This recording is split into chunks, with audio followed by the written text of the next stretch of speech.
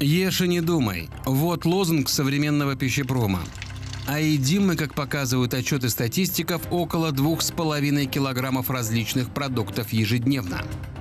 Сотни тысяч дел. За предыдущий год только было около 30 тысяч э, обращений. Учитывая резонансные разоблачения, заявления врачей и специалистов питания о реальном составе продуктов, можно понять, что закармливают нас порой опасной едой – последствия потребления которой могут быть для нас чреваты. У нас нет ни потребителя, ни толком производителя. Ведь делая ярче упаковку, добавляя усилители вкуса и надписи «чисто», «экологично», «натуральное», производители заботятся не о нас, а о своей выгоде – Мало кто выясняет, что внутри этих, на первый взгляд, безопасных упаковок и остались ли на прилавках безвредные продукты. Возьмем, к примеру, сыр. Один из самых популярных в нашей стране молочных продуктов, который каждый казахстанец ежегодно съедает по 2,5 килограмма. Эксперты говорят, могли бы и больше. Но экскурсии по прилавкам заставляют задуматься, а стоит ли.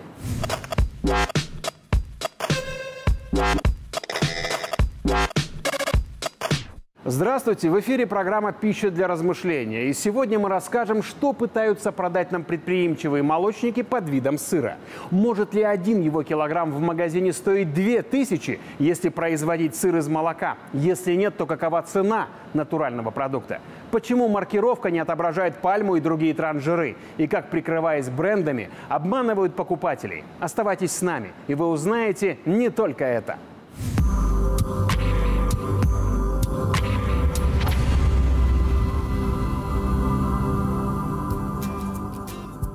Современные продовольственные рынки стремительно меняют лицо. Глаз радуется. Прилавки казахстанских магазинов сыром просто завалены. Адыгейский, ракфор, голландский с плесенью, моцарелла и пармезан. Выбор только за покупателем и его финансовыми возможностями. Но порой даже высокая цена не гарантирует такого же высокого качества. Вместо настоящего сыра мы можем купить в прямом смысле слова отраву. Так, месяц назад казахстанские проверяющие в пробах голландского сыра, который продается по всей стране, обнаружили бактерии группы кишечной палочки.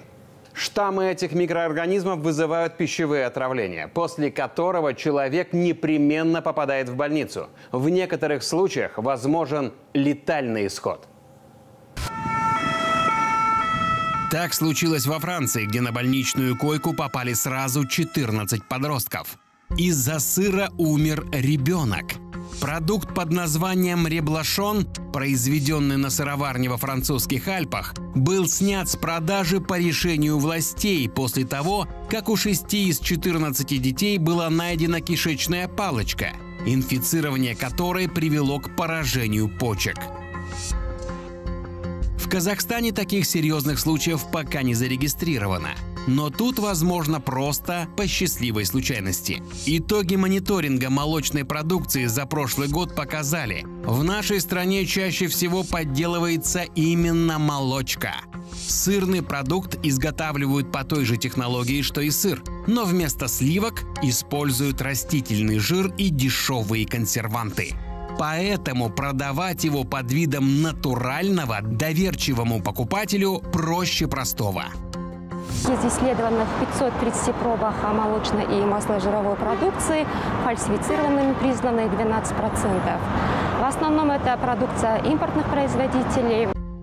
При этом импортные сыры, как и отечественные, уходящие на экспорт, проходят проверку территориальными инспекциями. Но тогда почему псевдосыры появляются на наших полках? И кто дает гарантию, что их всего 12%?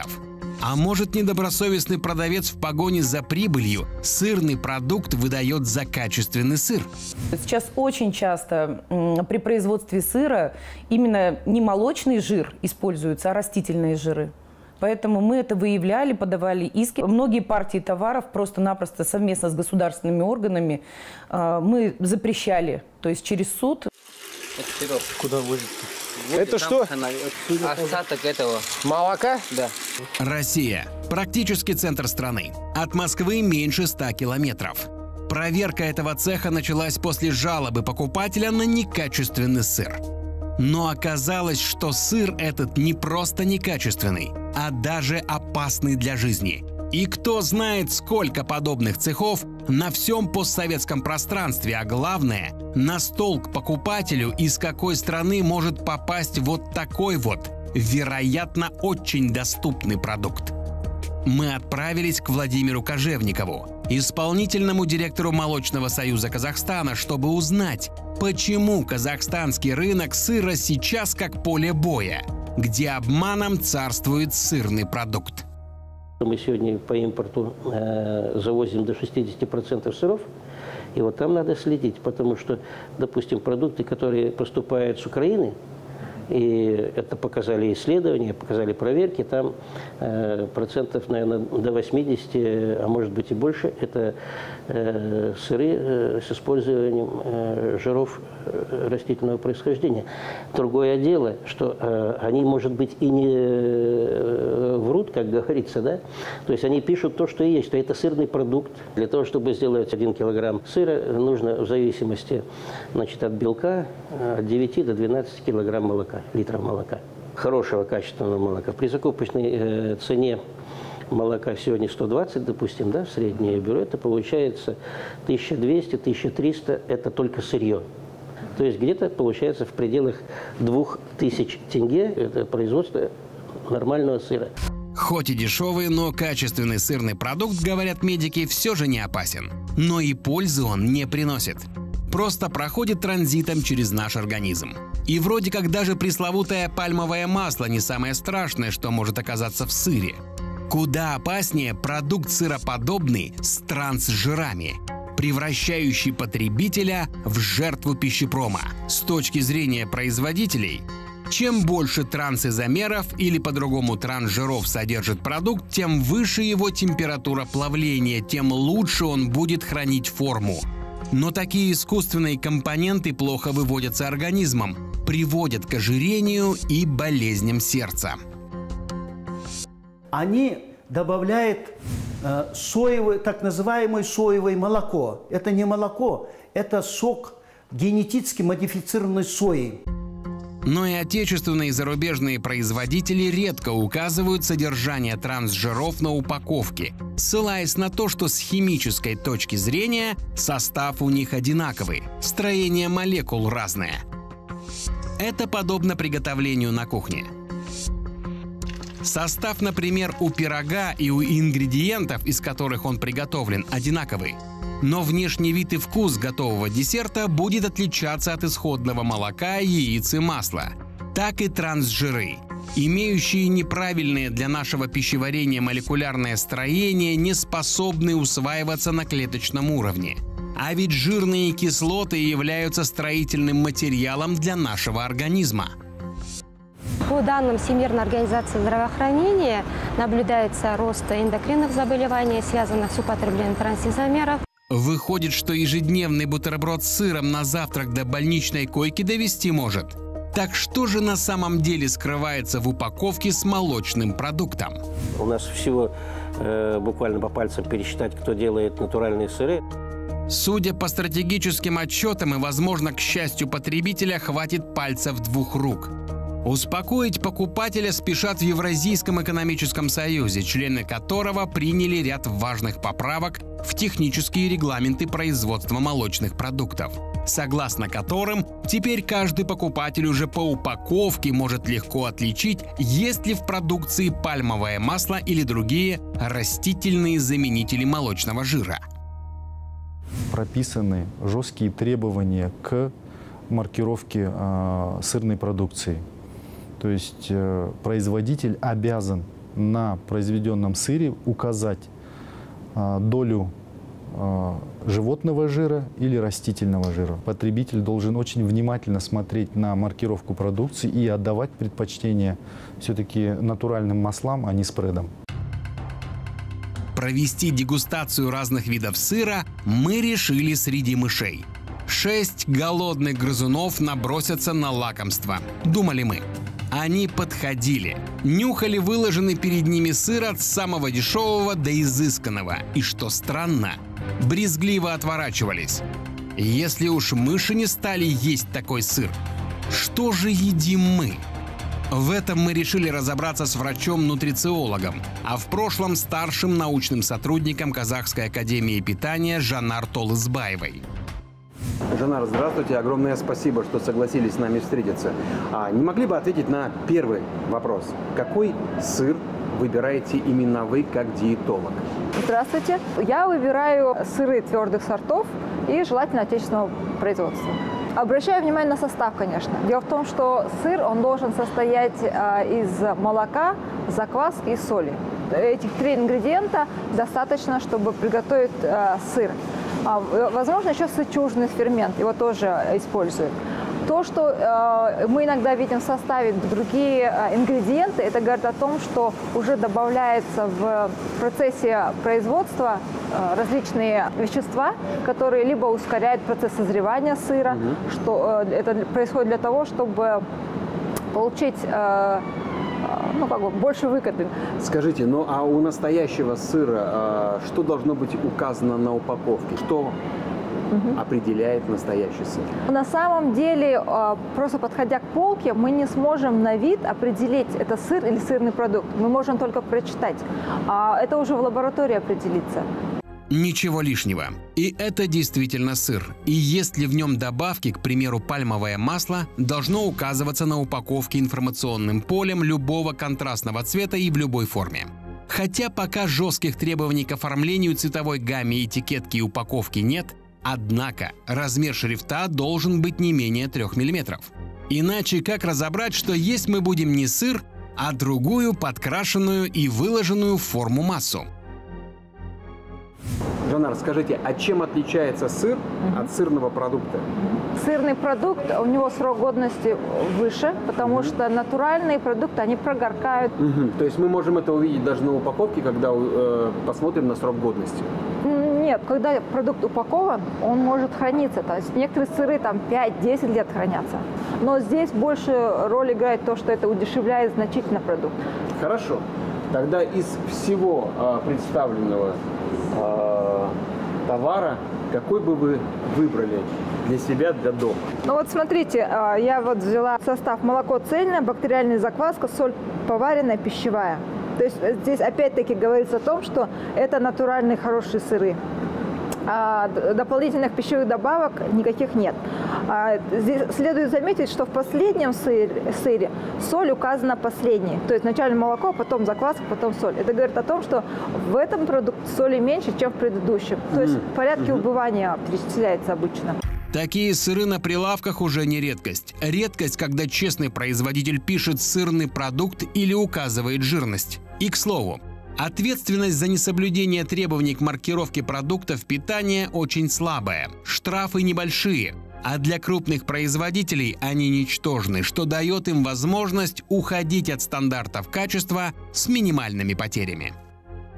Статистика показывает, что на самом деле есть э, рост ввоза на, на территорию Казахстана э, пальмового масла. Выходит, что пальмовое масло в продукты добавляют не только зарубежные нарушители.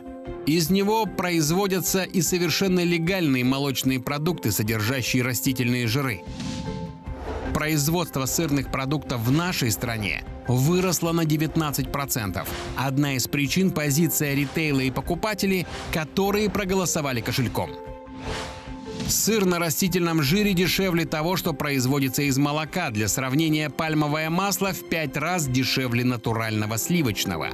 И большая часть продаваемого на казахстанских прилавках продукта в нашу страну завозится из-за границы. Это сырный продукт, это не натуральный сыр. Я специалист э, по животноводству, и работающие в отрасли переработки тоже, я эти вещи хорошо понимаю. К сожалению, на сегодня вот наше население многие недопонимают и не знают. Они, когда покупают вот этот сырный продукт, думают, это сыр настоящий. Это не сыр. В этой лаборатории казни перерабатывающие пищевой промышленности знают, как отличить качественный продукт от фальсификата.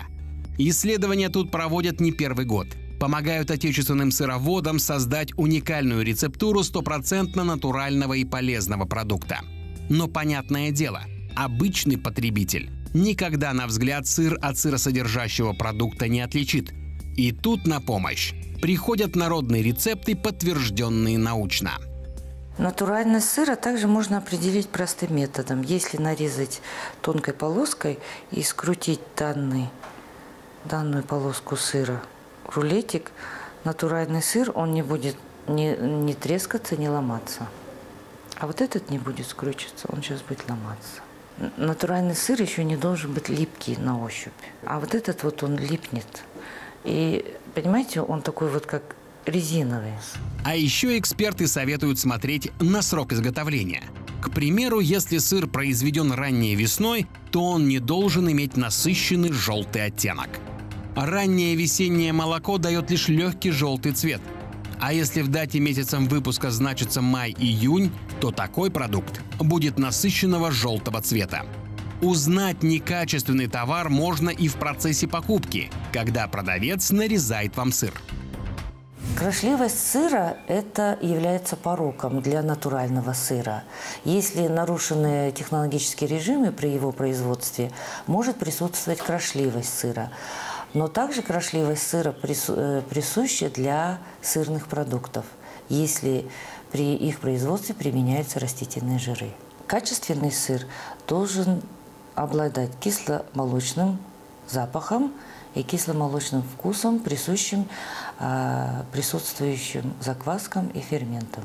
Но какой бы кусок ни резал специалист, как ни странно, он крошился. Хотя на упаковке ясно было написано «сыр». Возможно, были нарушены условия хранения. После разрезания головки сыра хранить его в домашних условиях можно не больше недели. Этот продукт не любит температурные перепады – в противном случае он портится, крошится и меняет вкус. А еще эксперты советуют всегда смотреть на дату нарезки сыра. Ведь долгое хранение 3 месяца возможно только, если сыр находится в производственной упаковке и хранится головкой. После нарезания максимальный срок, при котором сохраняется вкус и полезные свойства этого продукта, всего 10 дней. Ну вот данный вид сыра, вот э, вроде бы глазки, тут все, да, все красиво, но видите, он крошится и ломается. Это доказывает о том, что при производстве данного вида сыра были использованы растительные жиры, в том числе и пальмовый жир. Россия, Беларусь, Украина. Производители этих трех стран казахстанских сыроваров с казахстанского же рынка потеснили давно. Для сравнения, если в нашей стране ежегодно производится 480 тысяч тонн обработанного молока, то сыра почти в 30 раз меньше, около 17 тысяч тонн. Вот и заполняют свободную нишу иностранные сыровары. У нас больше 70%, около 77% молока производится в личных подсобных хозяйствах. Это так называемое сборное молоко. Для того, чтобы получить сыр, нужно хороший белок иметь. Именно молочный белок в продукте, говорят сыровары, и дает столько пользы человеческому организму. В сыре содержатся кальций, аминокислоты, ферменты. 70 граммов этого продукта в день покрывают суточную норму человека в кальции. Но это в том случае, если сырье для сыра качественное. Сыр – это белок.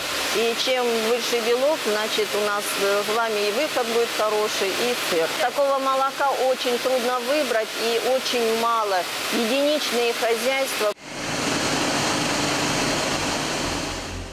Проблема для отечественных сыроваров настолько серьезная, что сказывается даже на полноценной работе предприятия. Цикл работы этого североказахстанского завода полностью зависит от поставок сырья.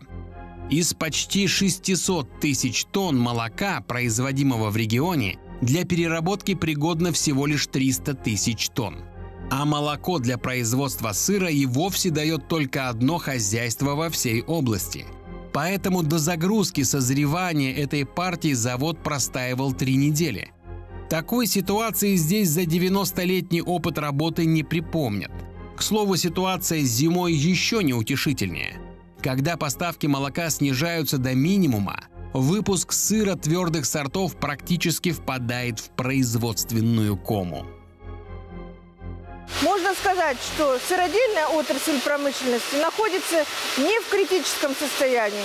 Ее, к великому сожалению, просто нет. Особенно критическое состояние в производстве твердых, натуральных чуждых сыров. На заводе признают, их продукт не конкурентоспособный. Хоть и качественный, но дорогой. А потому просят государство помочь сыроделам, к примеру, субсидировать покупку дорогого качественного молока, снижая конечную стоимость продукта. А в идеале наладить в стране производство молока, отвечающего всем требованиям молочной отрасли. Сейчас это перед нами стоит задача, чтобы это снизить долю импорта. В новой госпрограмме все у нас прописано по годам это в разрезе областей. Создавать будут семейные фермы, там в среднем на 100 голов коров, и плюс молочно-товарные фермы на промышленной основе.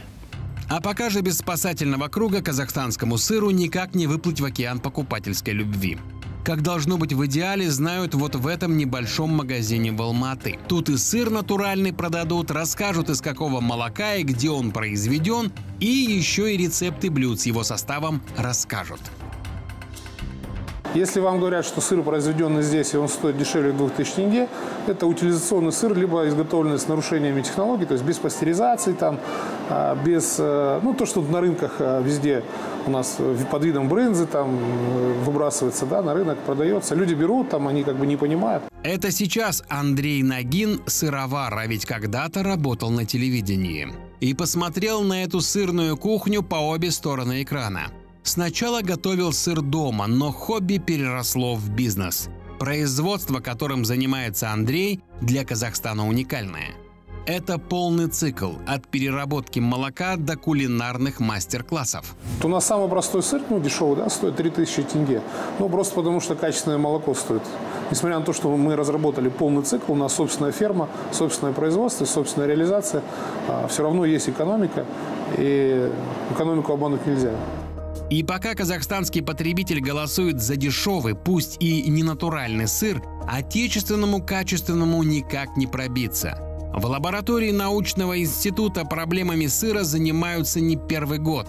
Наши ученые исследовали кормовую базу в регионах страны, взяли пробы молока, потенциал у молочной промышленности, говорят, есть.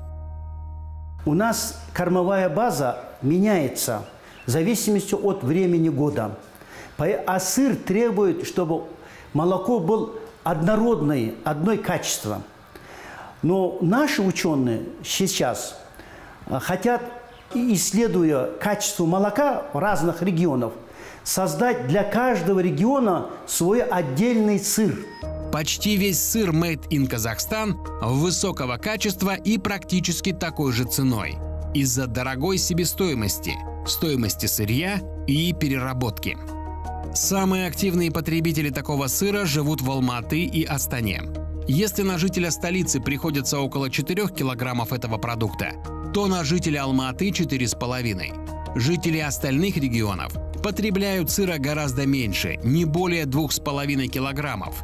Оно и понятно. Сыр довольно дорогой продукт. Если говорить э, в конкретных цифрах, то если средняя себестоимость э, производства одного килограмма сыра составляет около 2000 тенге, то государство возмещает порядка 12%, это порядка 250 тенге на килограмм сыра, чтобы поддержать в первую очередь отечественного товаропроизводителя и удешевить стоимость сыра для потребителей.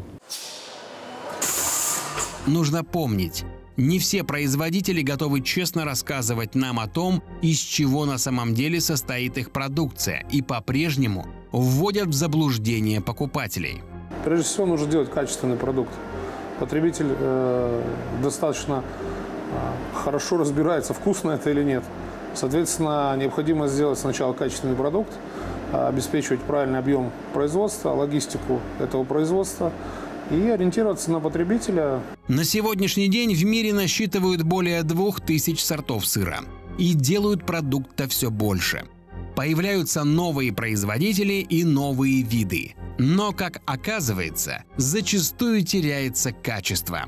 И порой в мышеловку с бесплатным, а точнее с дешевым и некачественным сыром попадают не мыши, а люди – и догадаться, сыр это или его подделка, обычный потребитель должен сам. Но мы не обычные потребители. Мы хотим знать, что мы едим. Yeah.